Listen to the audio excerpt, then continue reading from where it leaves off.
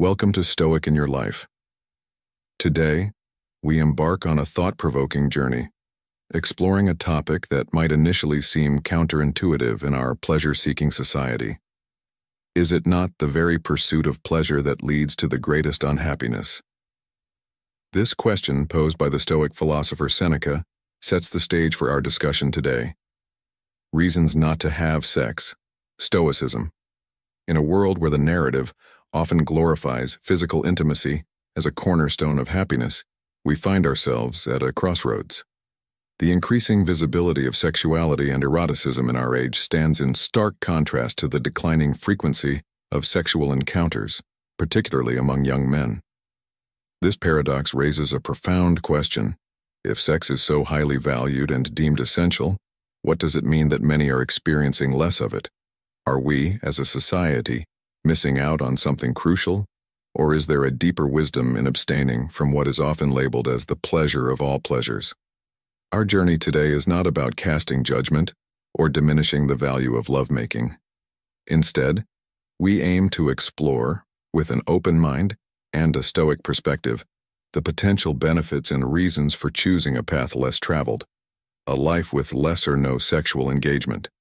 Join me as we unravel this intriguing topic challenging our preconceptions and discovering how ancient Stoic principles can offer a fresh lens through which to view this aspect of our lives.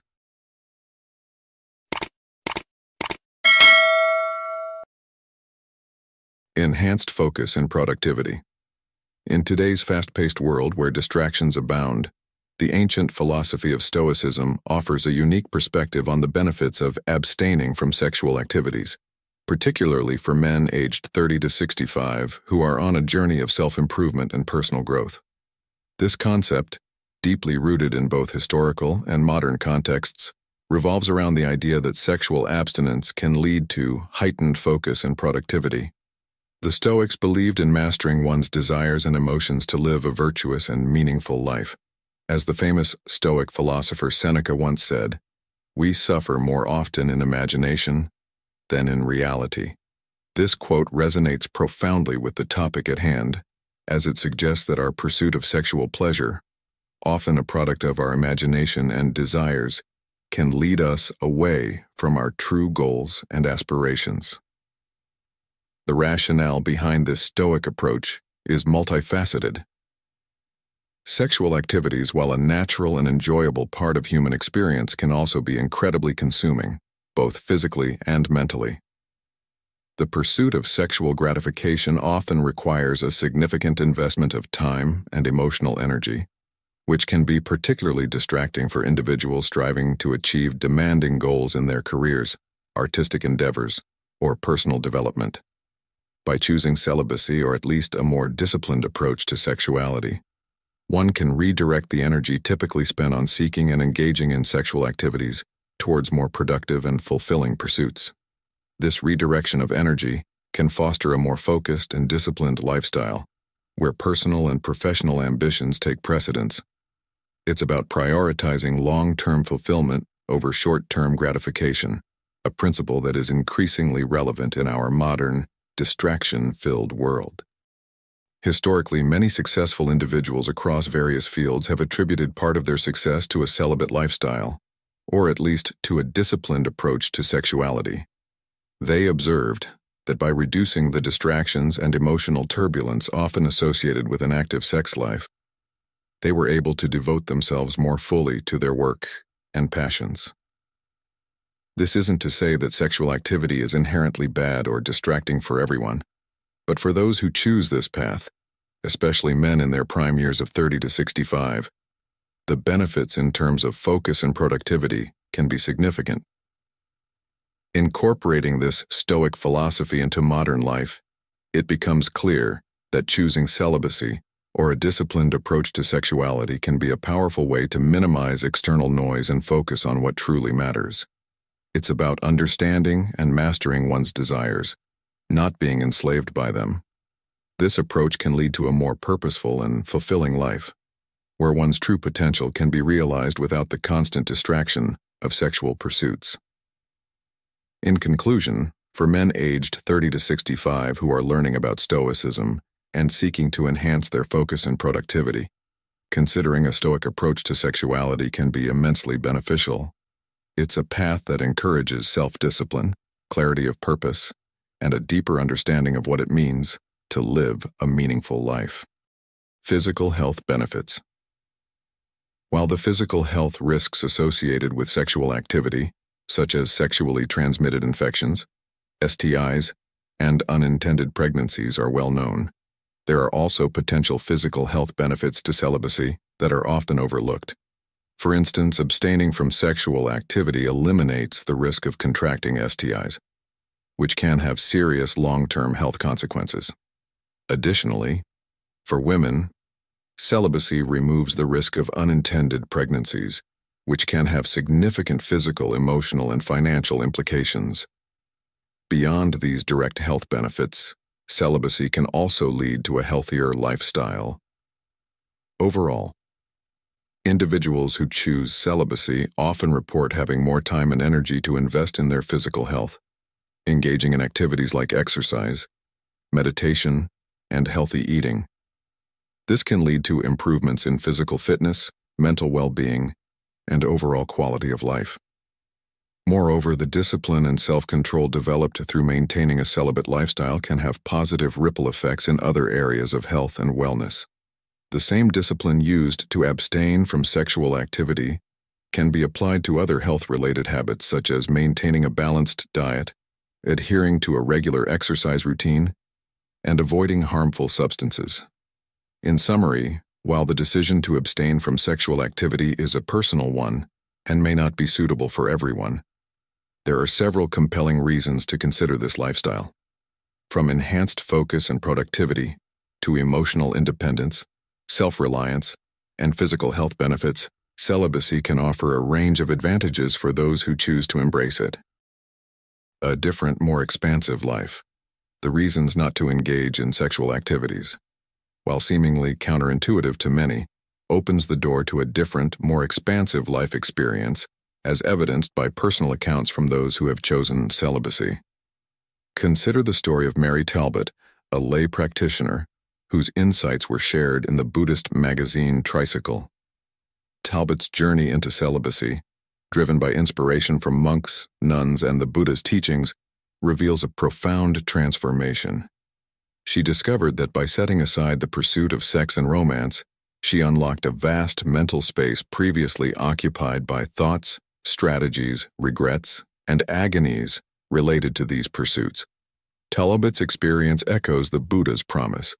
While celibacy might seem like a drastic reduction from an external viewpoint, it actually leads to an exponential expansion of one's inner life. This resonates deeply with the Stoic philosophy, where the focus is on internal growth and self-mastery. The choice to remove sex and romance from one's life does indeed lessen engagement with the external world. However, this is not a loss, but an opportunity for the inner world to flourish. Ajahn Nyanamoli's observation that human behavior is largely driven by the quest for sensuality and a mate is a testament to this. By stepping back from these deeply rooted desires, one can gain a clearer perspective on life's true priorities. Now consider the tale of Diogenes the Cynic, a contemporary of the Stoics. Diogenes, known for his ascetic lifestyle, often challenged societal norms. His choice to live minimally, without the pursuit of physical pleasures, including sex, allowed him to focus on philosophical inquiry and personal growth. This mirrors the Stoic principle of focusing on what truly matters, the development of virtue and wisdom. In a modern context, this approach can be incredibly liberating, the constant pursuit of romantic and sexual fulfillment often leads to a cycle of desire and disappointment, clouding our judgment and hindering our personal growth. By adopting a Stoic mindset, we can redirect our energies towards self-improvement, cultivating virtues like wisdom, courage, and temperance. In our journey through life, many of us center our existence around the pursuit of romantic and sensual fulfillment, striving to be as alluring as possible to those we desire. This quest often drives us to enhance our appearance, whether it be through developing a toned physique, utilizing beauty products, or donning fashionable attire. Nyanamoli, a profound thinker, sheds light on an alternative path. Celibacy. Embracing celibacy, he suggests, diminishes the influence of our sexual desires, thereby liberating us from the pursuit of social status or physical attractiveness solely for the sake of attracting a partner. This principle, he argues, applies universally. If we relinquish the need for lavish possessions or societal acclaim, we no longer feel compelled to exhaust ourselves in their pursuit. By choosing not to desire something, we can redirect immense amounts of energy towards other endeavors. Take, for instance, the Jesuits, a Christian order. They view celibacy not as a form of repression, but as a voluntary, conscious decision driven by a deep yearning for spiritual connection. This choice allows them to devote their entire being to fostering a relationship with the divine. However, the pursuit of celibacy isn't confined to religious contexts alone. It can also unlock potential for various secular pursuits, offering a unique freedom to explore and invest in other aspects of life. As we contemplate this perspective, let's consider the words of the Stoic philosopher Seneca. True happiness is to enjoy the present without anxious dependence upon the future. This sentiment resonates with the concept of celibacy as a means to reclaim control over our desires and energies. By focusing on the present and freeing ourselves from the relentless pursuit of sensual pleasures, we can find a deeper sense of fulfillment and purpose. Imagine the possibilities that open up when we're no longer tethered to the societal expectations of attractiveness and romantic conquests.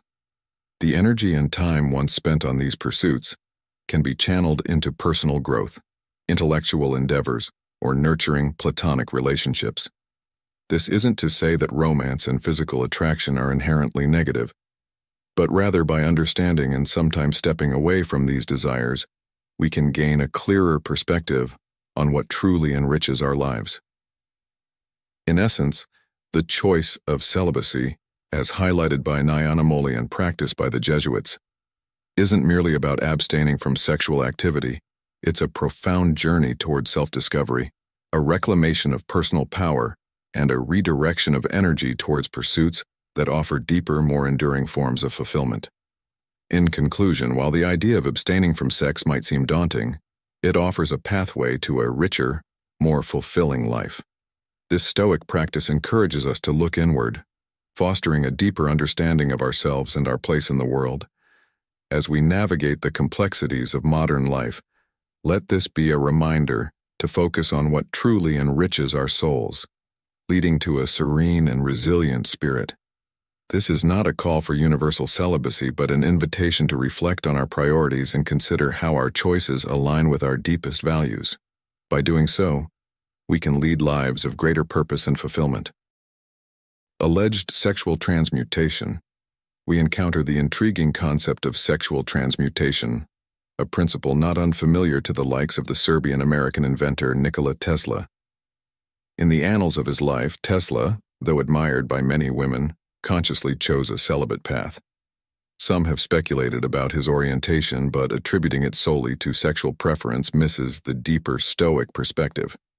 For Tesla, Life was more than the pursuit of carnal desires.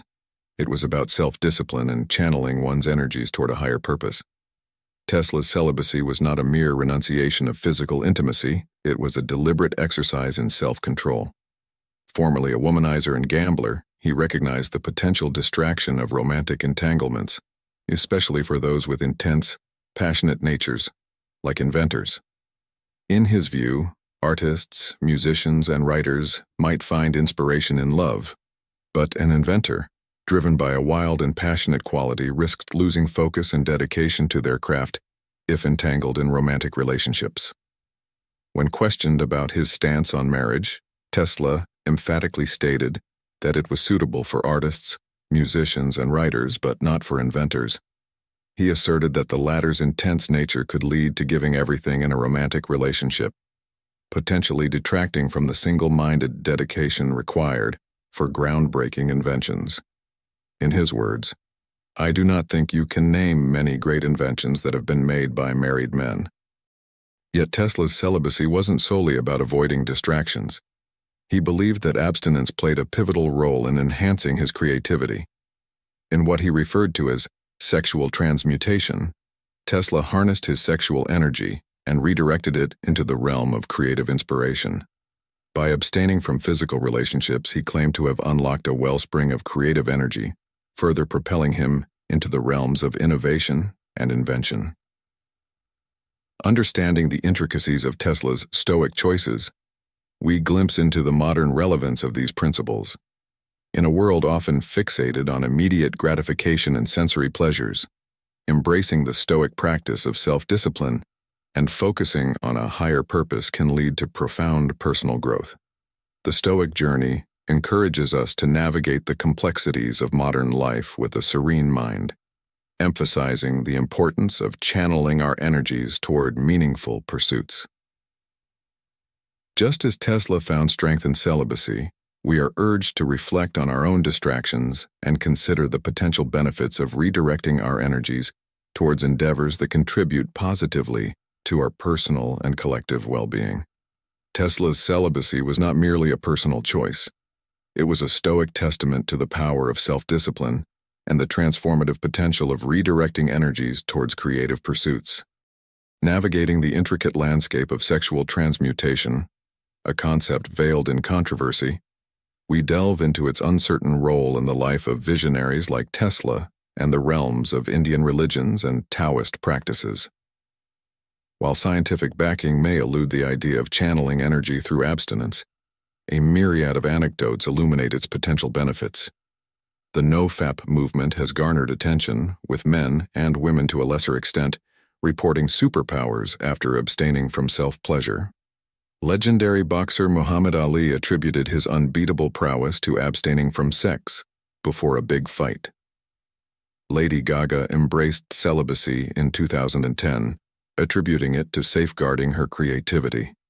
American philosopher Henry David Thoreau in his work Walden hailed chastity as the flowering of man, suggesting the ability to transmute sensuality into purity and devotion.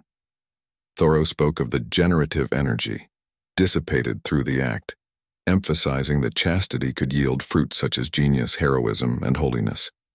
Whether sexual transmutation is a myth or not, the prospect of valuable benefits emerges, providing yet another reason to consider a hiatus from intimate encounters. Stepping back from sexual activities could indeed be a blessing for those willing to take the plunge.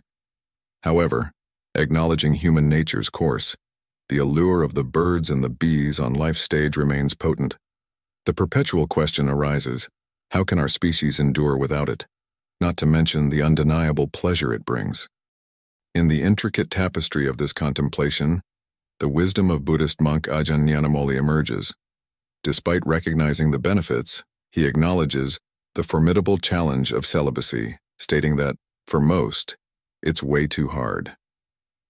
This echoes a fundamental truth about human nature, recognizing the complexities and inherent difficulties in embracing celibacy outside certain religious practices. As we reflect on these diverse perspectives and stories, it becomes evident that the journey of sexual transmutation is nuanced and subjective. Perhaps in the realm of personal growth, each individual must discern the path that aligns with their values and aspirations. The narratives of Tesla, Ali, Gaga, and Thoreau offer glimpses into the multifaceted nature of this journey, where abstinence becomes a canvas for self-discovery and the potential for heightened creativity and vitality. In conclusion, the exploration of sexual transmutation invites us to consider the profound effects of abstaining from sexual activities. While the scientific community may grapple with the concept's validation, the stories and philosophies presented here highlight its potential benefits. The choice to abstain is a deeply personal one, intertwined with individual beliefs, aspirations, and the recognition of the challenges posed by human nature. Ultimately, it prompts us to reflect on our own paths, recognizing the intricate interplay between desire, creativity, and the pursuit of a flourishing life.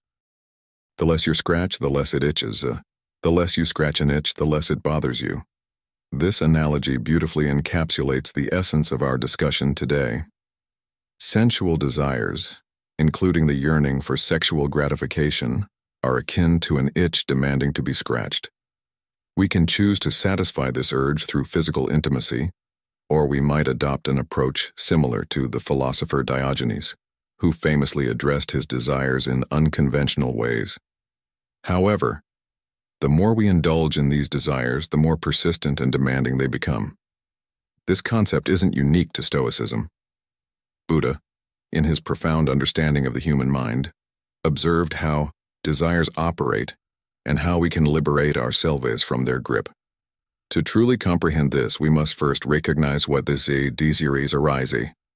From a Buddhist perspective, engaging in sensual pleasures is often an attempt to escape a deep-seated dissatisfaction with life. While it's natural to seek sensual pleasures, there's a danger in misusing them as a means to numb our pain.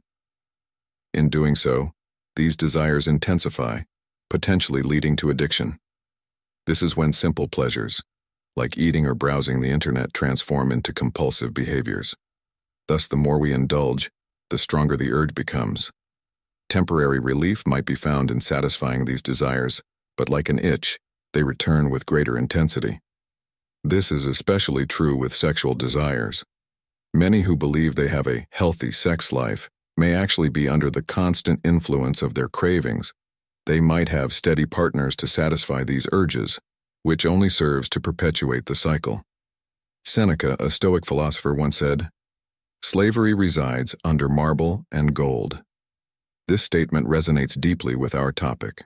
Often, what we perceive as freedom, the ability to indulge in our desires, is actually a form of bondage. We become slaves to our cravings, trapped in a cycle of temporary satisfaction and persistent longing. As Stoics, we strive for tranquility and mastery over our desires. By understanding and controlling our urges, we can achieve a state of inner peace and resilience. This doesn't mean we should completely abstain from pleasure, but rather we should seek a balanced life where pleasure is not the master, but one of many aspects of a fulfilling existence. In the profound words of the Stoic philosopher Seneca, we suffer more often in imagination than in reality. This sentiment echoes through the teachings of Buddhist monk Ajahn Nyanamoli, who advocates for celibacy not just as a religious practice, but as a means to liberate the mind from the shackles of desire. His perspective offers a unique lens through which men, particularly those aged 30 to 65, can view their relationship with sexual desires and the pursuit of a celibate life. Ajahn Nyanamoli suggests that the average person's life is predominantly driven by the pursuit of desires, most of which are rooted in sensuality. This relentless chase, often centered around finding a mate and building a family, is likened to a cycle of itching and scratching. The more we itch, desire, the more we feel compelled to scratch, satisfy the desire. He posits that celibacy is not merely an act of denial, but an opportunity to cultivate wisdom. By consciously choosing not to indulge in sensual desires, one can gain a deeper understanding and control over them. This process, akin to seeing desire by not giving in to desire, can lead to overcoming these desires altogether. The freedom experienced by the mind then is profound and unparalleled. In modern life, where sensuality and the pursuit of pleasure are often glorified, choosing celibacy can seem counterintuitive. However, it's essential to consider the benefits of such a choice. The less we engage in the cycle of desire and gratification, the less we are controlled by it. This detachment does not mean a life devoid of joy, but rather a life where joy is not contingent on external factors. It's about finding contentment and peace within oneself, rather than seeking it in transient pleasures. For men who often face societal pressures and personal expectations regarding sexuality, this perspective can be particularly liberating. It's an invitation to reevaluate the role of sexual desires in their lives and to consider the tranquility that might come from stepping away from the incessant need to satisfy these desires. This approach aligns with the Stoic principle of focusing on what is within our control, our thoughts and actions, rather than being at the mercy of external desires. In conclusion, embracing celibacy as suggested by Ajahn Nyanamoli is not about suppressing or denying one's natural desires. Instead, it's about understanding these desires their roots, and their impact on our lives. It's a journey towards inner freedom, where one is not dictated by sensual urges but is guided by wisdom and self-control. As we navigate through the complexities of modern life, this perspective offers a refreshing and empowering alternative to the conventional narrative surrounding sexuality and pleasure. The Stoic approach to sexual desires is not about suppression, but about understanding and managing them. It's about recognizing that true satisfaction comes not from external pleasures, but from inner peace and self-control. By adopting this mindset, we can navigate life with a serene mind and a resilient spirit, true to the principles of Stoicism and the teachings of philosophers like Seneca. Let's embrace this wisdom and apply it to our lives, finding balance and tranquility in the midst of our modern hustle. The sacrifice may not be worth it. In the realm of Stoicism, where the pursuit of virtue and rational living is paramount, the question of whether to engage in sexual activities, especially outside the sanctity of a relationship or marriage, becomes a subject of profound contemplation. The Stoic philosophers who revered wisdom and self-control might argue that the sacrifice involved in seeking sexual pleasure may not always be worth its fleeting gratification. The single individual, navigating the modern dating landscape, where the quest for a compatible partner often leads to physical venues or the digital corridors of dating apps and websites. This pursuit, while sometimes fruitful, is frequently fraught with challenges and disappointments. The Stoic philosopher Seneca once said, We suffer more often in imagination than in reality. This is particularly true in the realm of dating, where the anticipation and pursuit of a physical connection can be laden with anxiety and unmet expectations. Even when one finds a seemingly suitable partner, the complexities of human chemistry and the unpredictability of interpersonal dynamics can lead to a lack of connection or worse, encounters with individuals whose intentions may be harmful. The Stoic practice of caution and discernment becomes crucial in these scenarios. Moreover, the option of exchanging money for physical pleasure raises ethical and philosophical questions. One must consider not only the personal cost but also the circumstances and motivations of those engaged in such transactions. In the Stoic view, the pursuit of physical pleasure, particularly when it involves significant risk, expense, or ethical dilemmas, is often at odds with the pursuit of a virtuous and rational life. The Stoics believed in living in harmony with nature, and in this context, nature refers not just to the physical world but also to one's inner nature, the rational, discerning aspect of the human psyche. As Marcus Aurelius, a Stoic emperor, advised, the best revenge is to be unlike him who performed the injustice.